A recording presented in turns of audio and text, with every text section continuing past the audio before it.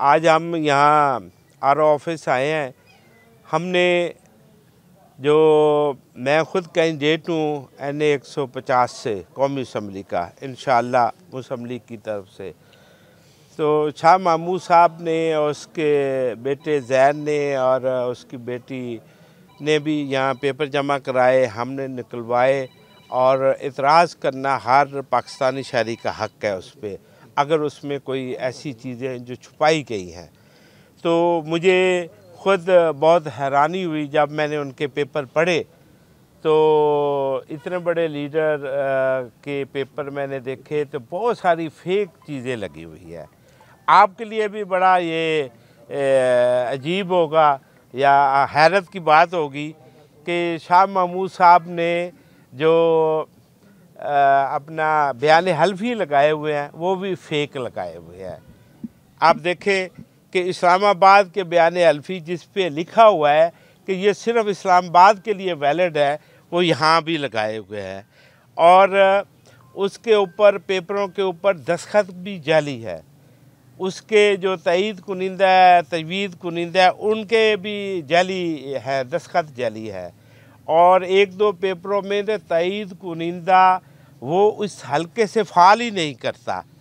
और जो फिर ख़ुद शाह महमूद साहब जे, जेल में थे तो ये ला है मैं एज ए मिनिस्टर भी जेल खाना जात कर रहा हूँ ला है कि जब भी जेल में जो अंदर कैदी होता है डॉक्यूमेंट्स उसके वेरीफाई होते हैं वहाँ उसके दस्तखत करने सुप्रीडेंट या डिप्टी सुप्रीडेंट वो वेरीफाई करता है तो वो जो उन्होंने वो चीज़ें जमा कराई हैं, जो डॉक्यूमेंट जमा कराए हैं, वो भी फेक हैं जैली हैं, ना कोई तस्दीक है, बाकायदा एक लॉ है, एक कानून है, उसके मुताबिक ये सारी चीज़ें तस्दीक होती है।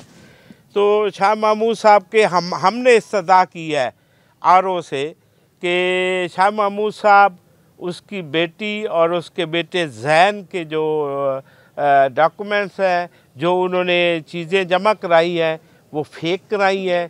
जैली करवाई है और वो बिल्कुल कानून और कायदे के ख़िलाफ़ है और इस्तः की हमने कि वो उनके पेपर को रिजेक्ट किया जाए। और मेरे वकला की टीम यहाँ खड़ी है।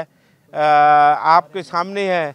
भाई नवीर, छोटा भाई जो सबका मेयर है, इनकी तरफ़ से हमने वो इतराज़ा जमा करवाए हैं। बड़े सॉलिड किस्म के हैं।